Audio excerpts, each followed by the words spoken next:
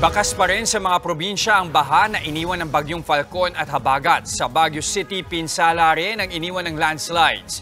Nasa frontline ng balitang yan, si Mon Gualvez. Sa tindi ng pinsalang iniwan ng bagyong Egay at habagat sa Cagayan, nagdeklara ang probinsya ng state of calamity. Dahil dito, umiiral na ngayon sa probinsya ang price freeze sa mga pangunahing bilihin. Magagamit na rin ng probinsya ang kanilang emergency funds. Ayon kay Cagayan Governor Manuel Mamba, aabot na sa maigit isang bilyong pisong pinsala pagdating sa agrikultura. Sa Baguio naman, ilang araw nang walang kuryente sa ilang lugar mula nang manalasa ang bagyong Egay. Pero ngayong bumubuti na ang lagay ng panahon, puspusan na ang restoration sa mga nasirang linya ng kuryente. 80% na raw ng supply ng kuryente sa Baguio at Benguet ang naibalik. Marami pong damage. Maraming bumagsak na mga poles po tayo.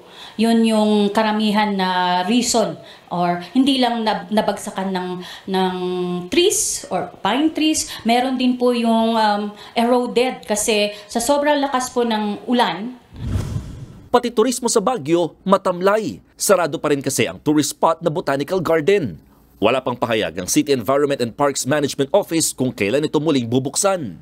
Sa tala ng City Disaster Risk Reduction and Management Office, aabot na sa 15 million pesos ang pinsala sa mga infrastruktura dulot ng nagdaang bagyong Egay. Sa Dagupan City at Calasiao, Pangasinan, nagdeklara na rin ng state of calamity. Nagsimula namang bumaba ang baha sa mga bayang ito pero ilang araw pa raw ang bibilangin bago ito tuluyang humupa. Hindi rin nakaligtas sa pagbaha ang eskwelahan na ito na nagsisilbing evacuation center.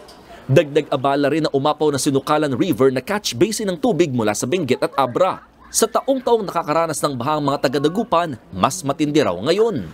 Pati kasi sa National Highway hanggang tuhod ng tubig. Uh, yung problema namin, we didn't expect this flood to be as high as this. It went so high that even the downtown area and the business sector was affected. Lubog maging ang sentro ng Dagupan na parang naging ghost town dahil sa mga nakasaradong establishmento. Ganoon din ang sitwasyon sa Calasiao. Lubog sa baha mga daan at establishmento at lagpas tao ang tubig sa ilang mabababang lugar. Kaya naman nag-evacuate na mga residente. Tumulong na rin ang mga tauhan ng Philippine Coast Guard para mailikas sa mga residente sa barangay Mangkup.